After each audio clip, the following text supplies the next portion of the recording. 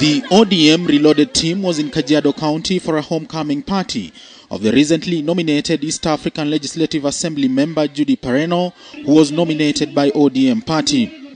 It is here that members of the Orange Party launched a scathing attack at the Independent Electoral and Boundaries Commission for what they termed as an unprofessional way of handling the tendering process for acquiring the biometric voter registration kits. We are warning IEBC.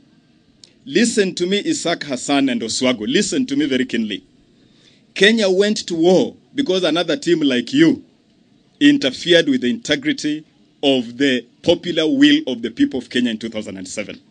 If you dare, if you dare, dare again, attempt to play around with this electoral process again, Kenyans will not permit it.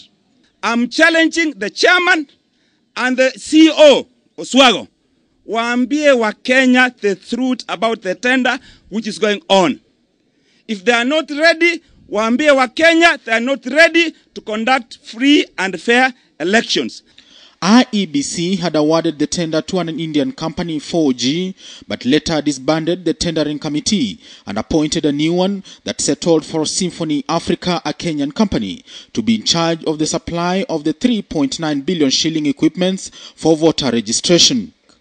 ODM doubts that the award of the tender was above board. biometric tendering na kupatia kampani ambayo inajulikana viongozi ama wale ambao wanaongoza hiyo kampuni ni watu ambayo iko na question mark. We want to tell Electoral Commission we are watching. This company called Symphony Africa is reputed to be backed by some very shadowy figures, wheeler dealers, some mysterious activists from all over the place, people that are known not to have the best interests of Kenya at heart.